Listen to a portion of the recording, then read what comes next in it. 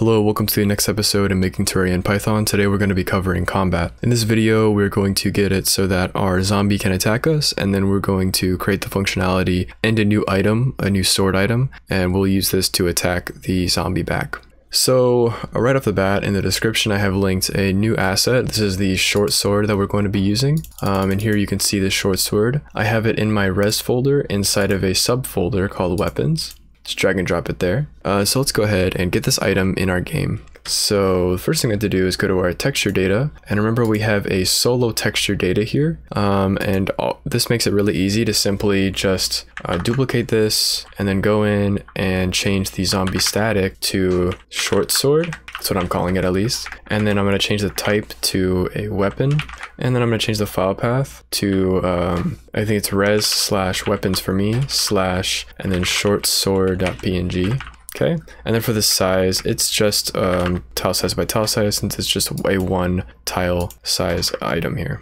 Cool, cool, cool. And so that should automatically load it in, um, seeing that we load all of those automatically, so that makes it pretty easy. Um, but now I want to make a little bit of a structural change. For some reason, I thought it was a good idea to separate the solo textures, the textures that are not connected to any atlas, from the atlas textures. And this makes no sense because after they're loaded in, they're all just textures at the end of the day. Um, and it actually makes it a lot harder to access these textures. So what I'm going to do here is inside of our scene, I'm going to change these solo textures to just textures. And then what I'm going to do here is I'm actually going to change this where I'm doing gen atlas textures. I'm going to do self.textures.update and then um, I'm going to get rid of this, highlight the um, gen textures here self.gen textures and then do uh, shift parentheses. So now what we're doing is we're doing self.textures.update and then um, this gen atlas textures that returns all of our textures here um, will actually be added to our texture dictionary. I know be wary in the future if you try to use this update. It does remove duplicates, um, but if you do it right, you shouldn't want duplicates anyways. So this will be fine for us. But now what we have to do is we've been using these solo textures and these uh, atlas textures um, variables all over the place. So literally just go go around and just change every everywhere you see atlas textures and solo textures, just change it so in the player, make sure you change it in the parameters and also move this back a bit. It's kind of hard to see. That should be good, but we'll just ensure that that works in a bit. Um, but once you've done all of that stuff, let's go ahead and add our item to our new, to a, um, let's go ahead and add our item into our world. So for this, we're going to go to items.py. And basically from now on, if we want to add an item into the game, we first have to dedicate a texture to it. And then we have to create an item for it. Now we don't have to make its own texture. Um, we could literally just assign it a different texture that's already already imported, but this part is mandatory. Um, so I'm going to make a new short sword item.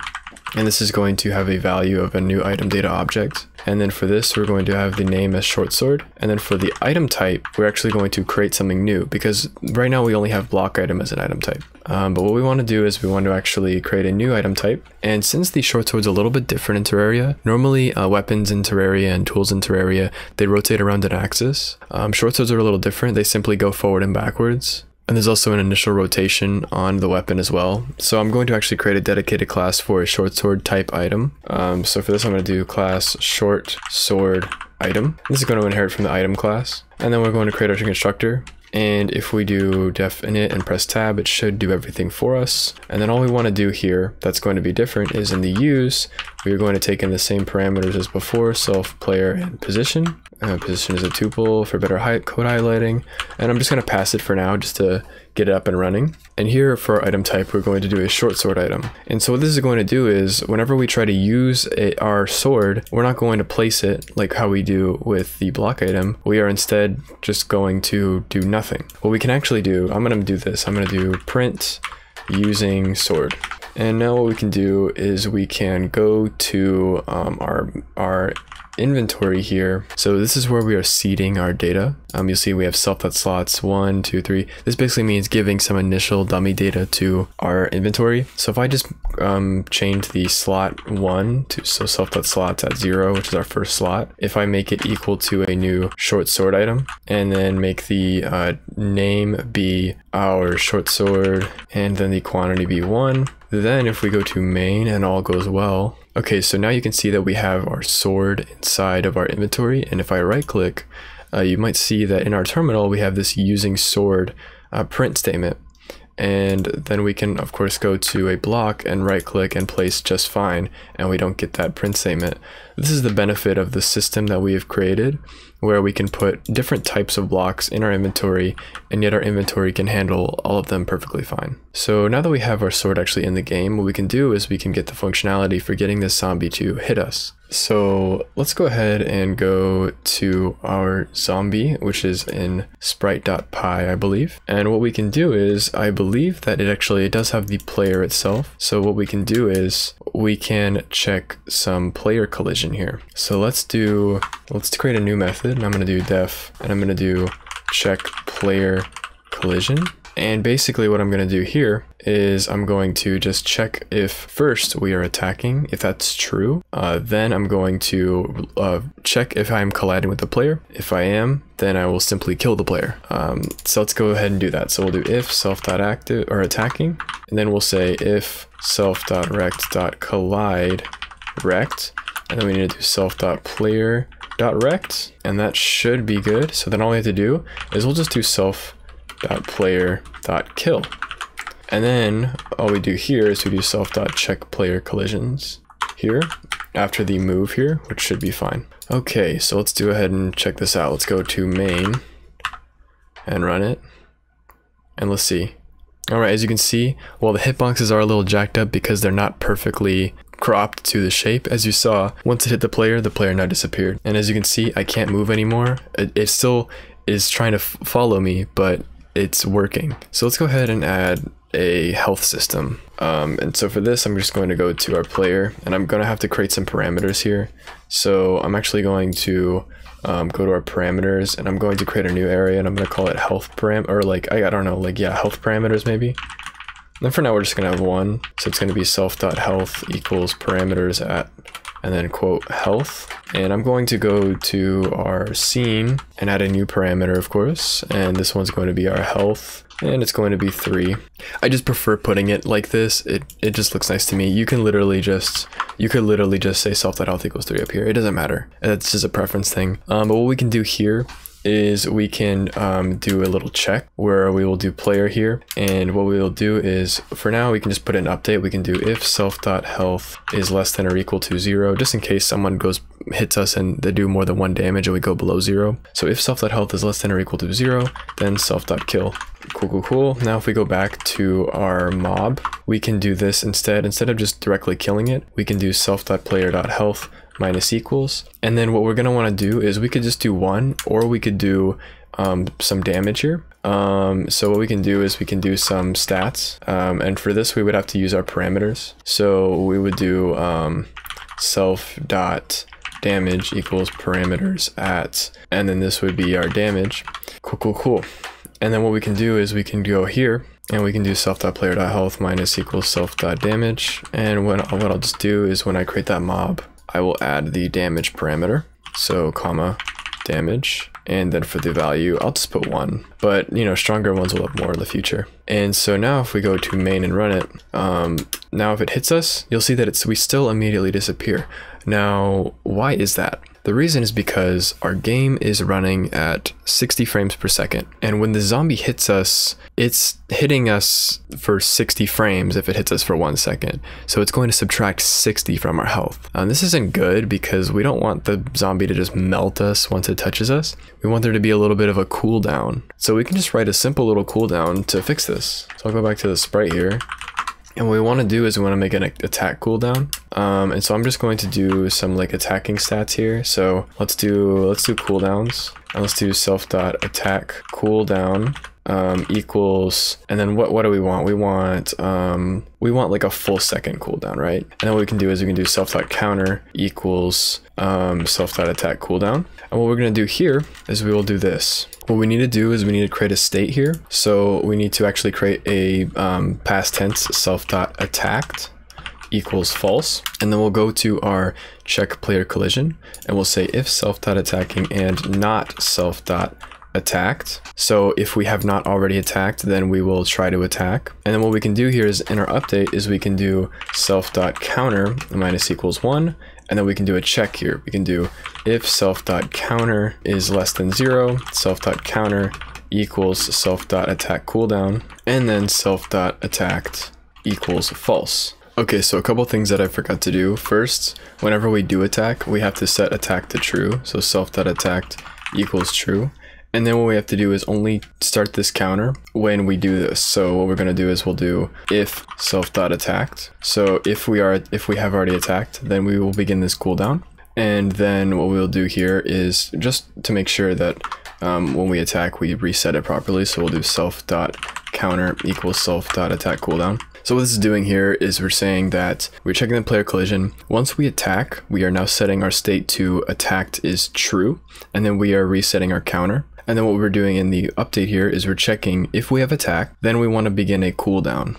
And what we want to do here is we want to just decrement this counter until it reaches zero. And once it reaches zero, then we're going to reinstate our ability to attack by saying self.attacked equals false. So this should give us a proper little delay here. If it hits us, there you go. And it should take, yeah, three seconds. Now let's add some knockback. So one thing we're gonna have to change is that we're gonna have to make it so that we don't just immediately stop when we're not pressing A or D. Um, and this was temporary to begin with, but what we're gonna do is simply say if self.velocity.x is greater than zero, self.velocity.x, and then we can just minus equal like a friction constant here. And then we can do elif self.velocity.x is less than zero, then self.velocity.x plus equals one. And we'll see if that is, or 0.1, and then we'll see if that is enough friction. I kind of doubt it. Um, yeah, we definitely have a little bit of weird things going on here um, with this thing, and I'll, I'll explain how that works in a bit. But let's let's see how this hit works. As you can see, the knockback's pretty crazy, so we can go ahead and change that real quick. But first, let's go ahead and handle that little bit of like moonwalking you were seeing there. Uh, so what's happening is it's a little bit of like an issue with with rounding and all that stuff and decimal values. What we can do is just add like a simple check here, and we'll just say if the absolute value of self dot self dot velocity dot x um, is less than 0.3, for example, then we can just do self.velocity to x equals 0. And this should get rid of any sort of like drifting little tiny drifts. Um, so you'll see that we can just uh, move perfectly fine and we stop. We have a little bit of a, a slide at the end, which is actually what you want because people don't just stop immediately when they stop. They kind of have a little bit of a drift. And so now you can see that we get hit. Let's go ahead and change that because if you notice, we are only getting hit um, one direction. We want the direction to be dynamic, basically meaning that if we get hit from the left, then we move to the right and vice versa. So what we can do is we can get the direction. So we can do um, we can do if self.player.rect.x is greater than self.rect.x. That means that it is from the right. Then we can do self.player.velocity.x equals um, and since it since the player is on the right, we are going to send it in the positive direction. I'm going to do three, and we can do elif self.player.rect.x is less than self.rect.x. Then we can do self.player.velocity.x equals negative three. Now we should be able to be hit from both directions. So we're hit here, pretty cool stuff. Now we actually have to find a way to get on that side. Let's go ahead and get over there without getting hit because we don't have much health. Okay, so it did not work there. Um, I'm not really sure why. Let me check. Okay, it did work. Okay, yeah, it is working. So it must have just been like a weird little glitch there or something. So the problem is that we were doing the X and not the center X. We're gonna do center X because we were trying to target the center. Um, so we can do rect.center X instead of X. That should fix a little bit of those weirdnesses. Um, but now let's like make it so that we can fight back. Um, and so this could be pretty um, relatively difficult, but we, we got this. So let's go to our player here. Actually, let's go to our items. For this, we're going to do a new method. We're going to do attack. And because we want to do left click and left click is not used, it's attack instead. What we want to do is we want to do a self player um, we can do position, or actually we don't even need position, we need player and then we need target. And what we can do is we can simply do, um, for now, we will, we will do target dot kill, just to see if we can get this up and running. And let's go to our player here, and let's do this. What we can do is, we can do if, in the input method here, we will do if event handler dot clicked then basically this is saying that we are wanting to attack and we could do this we can go to our item here and we can just create a new method and this method will be def attack. And for an item, we don't want this. We just we just want nothing. So we'll simply pass it. So this way we can call it for all of our items. So we don't have to do anything special, but our short item will actually do something. So what we'll do is we will do self.inventory um, dot slots at self dot inventory dot active slot dot attack and this takes in self and a target and for the target we're going to have to actually get a target. And the way we're going to do this and then we're going to have to get our um, enemy. So for this we will have to just basically have a new group for our enemies. And this will be self.enemy group equals self.group lists at enemy group. So we created a new enemy group here. And then we go to scene. And here in the scene let's go ahead and create a new not a new uh, group here. So self dot enemy group equals pygame dot sprite dot group here. And then make sure to add it to the group list. So um, enemy underscore group equals self dot group list or not group list self dot enemy group. So now we should have it added to our group list. Pretty easy to access. Now we just have to make sure that when we do create this mob here we add it to the enemy group. Now what we can do is we have this enemy group um, in our player so we can now loop through it and check to see if we've collided with them. And so what we can do is we can uh, first when we click here we will do for enemy in self dot enemy group. If enemy dot rect dot collide rect and then we want to do self dot rect or not self dot rect we want to do self dot get adjusted mouse position. Then if it does collide with our get adjusted mouse position then we want to do self dot inventory dot slot at self dot inventory dot active slot dot attack and then we send in self and we send in the enemy. And this should theoretically work right off the bat. Let's check. So we have it running, we click, and we get an error. Oh, oh, whoops. collide points, whoopsies. Okay. We want to do collide point on collide rect because the mouse position is on a rect as a point. So we click, and the enemy goes away. Pretty cool stuff. So nice. So now let's make it fun and let's go to scene and let's just make a thousand of these um, why not and then I'll just move them over so I'll just make this one at 900 um, make this one at a thousand make this one at 1100 make that one at 1200 and we can run it and there you go oh shoot okay chasing after us got it so as you can see like this is definitely too easy um you know very easy let's go ahead and make sure that we can't do this with our blocks. So if I try to attack with a block, you'll see that we can't do anything. We're like not attacking at all. And we actually got deleted. uh, so that's that's kind of funny, but yeah, that's good. It's all working. So what we can now do is we can actually um, draw the item physically.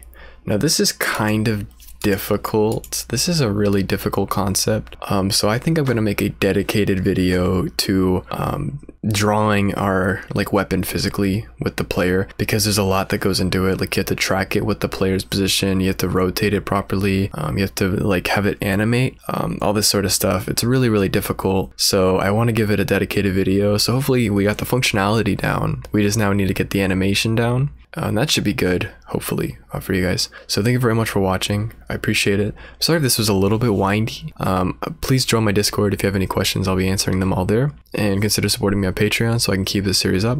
Thank you for watching. Have a good day. See ya.